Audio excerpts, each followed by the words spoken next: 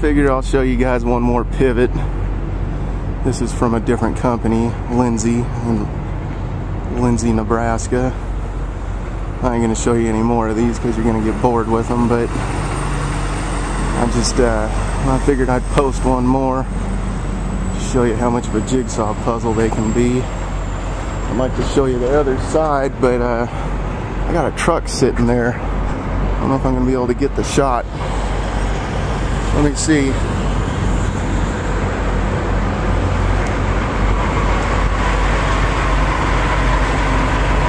Well, I'm zoomed out all the, I mean, in all the way.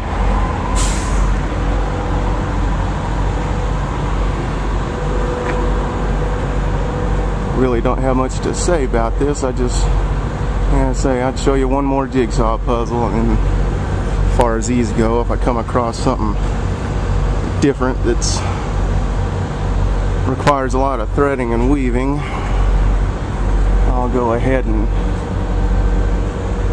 uh, show it to you. But till then, I think most everything else I'm hauling is just your ordinary bolt bags and lumber and stuff like that. I just think these are um, these irrigation pivots are uh, something people always ask me about. You know, what is that? And uh, you know, oh, what a jigsaw puzzle that is to secure and stuff. It's not as bad as it looks, but uh, they are top heavy though. I'll say that, and especially this load. I don't know if this Lindsay brand uses some heavier gauge uh, piping than the Valmont ones. I got no idea. I just know that this load is definitely top heavy, worse than most. So, uh, anyways, everybody have a good one. It is Easter Sunday.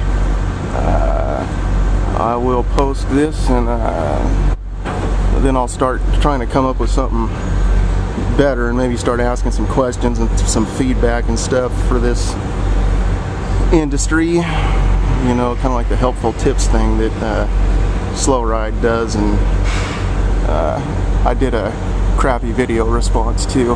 Anyways, uh, over and out.